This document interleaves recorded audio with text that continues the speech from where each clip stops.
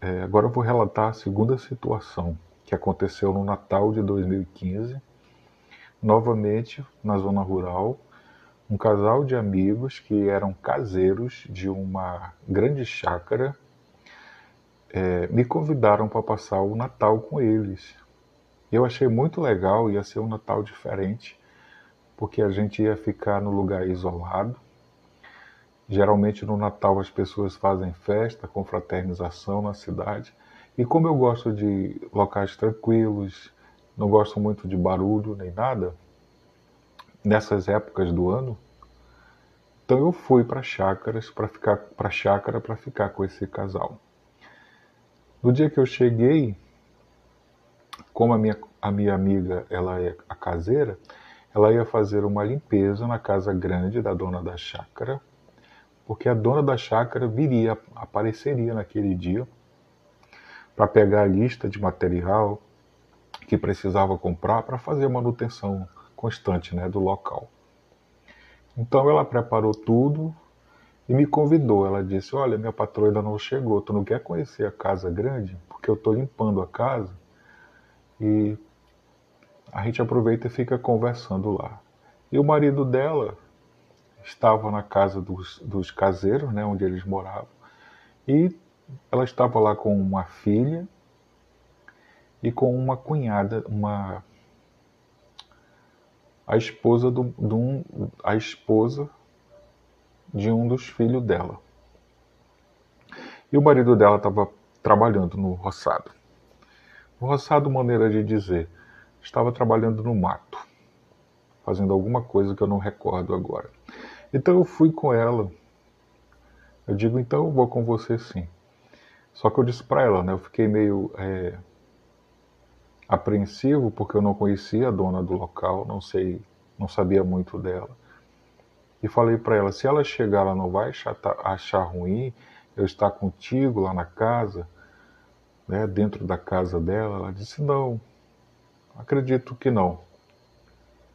De qualquer forma, eu falei para ela, bem, se ela chegar, eu me apresento, né, eu não a conheço e eu espero que ela não fique constrangida, ela não fique chateada, né, por ser uma pessoa estranha, mas como eu estou com você que trabalha aqui e ela permite que você receba amigos, então tudo bem. Muito bem. Então nós subi, era uma casa muito muito bonita, com piscina, dois pisos, sótão. Então nós, ela ia começar a limpar a casa lá de cima para baixo. Então nós subimos e ficamos no sótão. E lá no sótão tinha alguns artigos antigos, algumas coisas de época, porque a patroa dela gostava de ter esses artigos na casa de campo, né? Panelas de barro, uma mesa grande de madeira, tudo bem requintado, mas dentro de um padrão rural bonito, simples, mas que muito aconchegante. Mas então nós estávamos no sótão. Enquanto nós estávamos lá, ela ouviu o carro da patroa dela vindo de longe. E era um carro vermelho, e ela disse: Olha, minha patroa. Eu digo: Olha, e agora? Eu estou aqui em cima, nós estamos aqui em cima. Eu estava um pouco constrangido, porque muitas vezes as pessoas não gostam de encontrar estranhos dentro da sua casa, né? E eu tinha ido passar o dia com a minha amiga, o dia de Natal, a véspera de Natal, ela com o marido dela. Ela disse: se tu ficar tão, se tu então se sentir tão constrangido, fique aqui em cima, porque ela não pode subir, que ela tem problema no joelho e ela nunca vem aqui em cima. Por isso que eu tenho que limpar sempre, deixar sempre limpo, pela uma questão da higiene e da organização. Eu digo: então tudo bem, eu fico aqui, fico quieto num canto, sento numa cadeira e fico passando pano nesse material que precisa ser ser limpo, ficar limpo, né, tirar a poeira. Então ela desceu e foi atender a patroa dela. Eu ouvi a, a patroa dela chegar e começar a conversar com ela. Aí eu, eu lembro que a patroa dela pediu: cadê a lista? Tu fez a lista do material para eu comprar, para trazer? Material de limpeza, material do banheiro, material da cozinha. Ela disse: fiz sim, eu vou ali em casa pegar. A casa do caseiro ficava uma, cerca assim, de uns 80 metros da casa maior. Então ela foi até lá e a patroa dela entrou. a patroa dela e mais uma amiga dela. É uma senhora de idade já quase 65 para 70 anos. E elas entraram e eu fiquei constrangido, porque eu estava lá em cima, e elas começaram a conversar. Aí uma dizia uma coisa, parece que a outra discordava, ficava calada, não entendia direito. Eu só lembro que era, parece que ela era uma pessoa bem mais velha que falava, uma voz já cansada, de senhora, de idade. Eu imaginei que fosse a mãe da patroa da minha amiga. E ela ficava reclamando: Olha, tu tá vendo aqui na, na varanda esses vasos de planta? Precisam de adubo, precisam de terra nova. Tu tem que comprar material para deixar tudo bonito, essas plantas. Eu gosto de ver essas plantas bonitas. Enquanto a pessoa mais velha ia reclamando, ela não respondia, ela não dizia nada, ela não concordava. Ela apenas eh, ficava, eh, parecia assim que ficava observando. Eu ouvia tudo, né? Porque a casa é, tinha essa acústica que dava para a gente ouvir as pessoas que estivessem falando lá embaixo na varanda. E também porque a casa estava toda aberta, as portas e as janelas, né, para receber um ar novo. Mas de repente elas entraram. Eu percebi que entraram na casa. Mas eu sei que, é, como a minha amiga tinha me dito, né, elas não vão subir. Então eu preferi ficar calado no meu canto, né? Mas eu não estava gostando de ouvir as conversas dela, né? Não é legal não era legal. O que, que foi acontecendo? Eu, eu lembro quando ela, a, a patroa da minha amiga, começou a dizer: Eu não sei se eu vendo logo essa casa ou se deixo aqui mais um tempo para eu vir de vez em quando visitar. Aí a pessoa mais velha dizia, né, que eu não sei quem era a pessoa mais velha até então. Ela dizia: "Tu vai, tu passou tanto tempo para construir essa casa, agora tu quer vender? Se tu não queria a casa, tu achou que dava muito trabalho, para que construiu?" Para que fez tudo isso? Para que fez piscina? Para que é, plantou tantas, tantos pés de plantas bonitos para florir e agora tu está com preguiça de cuidar e quer logo vender? Daqui um dia tu se aposenta do teu trabalho e esse lugar aqui vai ser teu refúgio. Eu achava estranho que a pessoa mais velha reclamava e ela nunca respondia. Ela não dizia, olha, eu vou comprar o adubo, ela não respondia, não, não é que eu esteja com preguiça de cuidar. É porque eu, é, quer dizer, ela não respondia. A pessoa ficava sempre resmungando e parecia que a pessoa não estava ali, que ela não estava ouvindo essa pessoa. Aí tudo bem. Nisso chega a minha amiga com os papéis, com tudo para as listas de compra, para passar relatório sobre tudo da casa, do terreno. Então elas se acertaram rapidamente, porque eu, eu lembro que ela, a patroa disse: Olha, eu não posso demorar, deixa eu logo ver isso. Aí a patroa dela tinha levado o pagamento dela, que era época de Natal, levou o pagamento com o décimo terceiro, a moça assinou o recibo, a minha amiga, né?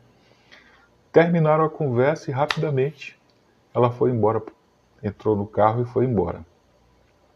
Eu vi o carro indo embora. Aí ficou silêncio, né? Depois eu, eu ouvi minha colega subindo. Ela estava feliz, ela pediu desculpa. Poxa, meu amigo, desculpa ter te deixado aqui em cima, mas tu estava constrangido, tu não conhece a, a, a, senhora, né? E tudo mais. Eu digo sim, foi melhor ter ficado aqui em cima mesmo. Aí na hora eu, eu peguei e disse para ela: é, foi melhor porque elas estavam conversando e eu também não ia me meter na conversa delas. Ela olhou para mim ela disse: ela perguntou, elas estavam conversando, como assim? Eu estava conversando com ela. Aí eu disse, não, tu estava conversando com ela, mas antes de tu chegar, elas estavam conversando sobre as coisas da casa. Ela, ela falou que de repente ela poderia vender a casa, mas a outra disse que para que, que ela ia vender a casa que ela construiu. Elas estavam dialogando. Aí a minha colega disse, mas como assim? Eu não estou entendendo, meu colega. Ela, elas quem? Elas? a tua patroa e a amiga dela, uma outra senhora de idade. Ela disse: Meu colega tem alguma coisa de errado. Minha patroa estava sozinha aqui dentro da casa. Eu digo: O quê? Para com isso, tu está brincando comigo, né? Ela estava conversando, ela saiu do carro elas vieram conversando pela varanda, elas entraram. Eu ouvi as duas falando. Aí eu expliquei, mas é assim, uma falava, mas parece que ela nem ligava para a mais velha. Ela, ela ficou com medo. Aí disse, meu colega, vamos sair dessa casa agora. Aí eu digo, por quê? Bora sair daqui, eu tô, eu tô me arrepiando toda aqui. Eu digo, o que aconteceu? Disse, eu tô te dizendo, a minha patroa, ela veio sozinha, ela gosta de vir para a estrada sozinha, ela dirige o carro dela sozinha, ela não traz ninguém junto. Eu digo, eu não estou entendendo. Aí nós pegamos, nós pegamos, descemos, saímos e fomos para casa lá, a casa dos caseiros, né? Quando chegamos lá, estava uma filha dela e a esposa de um dos filhos dela. Aí ela pediu água e disse que não estava bem. Aí a filha dela perguntou: O que foi, mamãe? Ela disse: O, o seu Eros, ele viu alguém, ele ouviu alguém dentro da casa que não estava com a minha patroa. Aí a filha dela e a outra moça perguntaram: Como assim? Aí eu expliquei, eu estou dizendo para ela que a patroa dela entrou conversando com alguém dentro da casa. Enquanto ela, ela veio aqui pegar os papéis, as listas de compra, a patroa dela entrou com alguém dentro da casa porque eu ouvi. Ela disse: Não, seu. Não, seu menino, não foi assim, não. A, a, patroa, a, a patroa da mamãe veio sozinha. O carro ficou aqui perto de casa. Ela, ela saiu do carro sozinha, entrou no carro sozinha. Eu digo, não, tem alguma coisa de errada. Tinha uma outra pessoa lá com ela. Quer dizer, nós ficamos nesse impasse. Eu não entendi o que aconteceu. E eu tenho certeza que haviam duas pessoas dialogando, eram duas mulheres dialogando dentro da casa. Então, depois, com o tempo, a gente quietou, sentou mais, a minha amiga começou a me dizer que, por um tempo, a mãe da patroa dela morou na casa, já era uma pessoa idosa, passando dos 80 anos. Só que chegou um tempo que ela não conseguia mais vir para casa, é, vir da cidade para casa, porque ela já era muito idosa, então o clima, a viagem, eram mais de 40 quilômetros para poder chegar no local, vindo de carro, e se tornava muito cansativo para uma pessoa idosa. E até um, até que ela faleceu, já fazia uma cerca assim, de uns três anos que ela tinha falecido, elas me contaram. Então elas imaginaram que poderia ter sido a mãe da patroa da minha amiga que se materializou ali naquele momento. E eu estava ali e acabei ouvindo a voz da mulher. Então aquilo me assustou muito. Eu fiquei assim num estado assim meio eh, de choque. Tanto é que eu resolvi não dormir ali porque eu fiquei com medo. Então eu não passei mais o Natal ali. A gente já se dirigiu para um outro terreno, é, para outros vizinhos, só para a gente não ficar sozinho ali perto daquela casa. E eu resolvi não, não me aproximar mais da casa, porque eu calculei que a outra pessoa não gostou da minha presença mas eu não ouvi a pessoa resmungada do que, de que eu estava lá, de que tinha alguém lá. Eu também não ouvi isso. Essa pessoa que conversou com a patroa da minha amiga, essa senhora idosa, ela não falou: Olha, tem um, alguém lá em cima. Em nenhum momento eu, ela falou isso. Então são situações que realmente se materializa né, um, um sobrenatural, uma manifestação de um de alguém, né? Enfim. O sangue de Jesus tem poder, tem poder, tem poder. O sangue de Jesus tem poder, faz o inferno estremecer, faz o Satanás correr e o milagre acontecer. Se correr, o bicho pega, se ficar, o bicho come. Essa frase diz aquele que de medo se consome. Mas eu grito Jesus Cristo, com certeza o bicho some. Ah, segura, só isso, minha filha, que eu tinha pra dizer. ah, bagaceira.